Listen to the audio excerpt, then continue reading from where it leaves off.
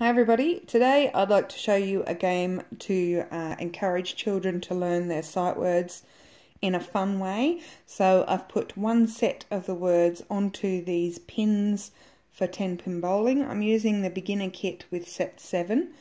I've laid there out the ones, the spare set so that you can see the words and that would enable the child to be able to find the words that they're most confident with.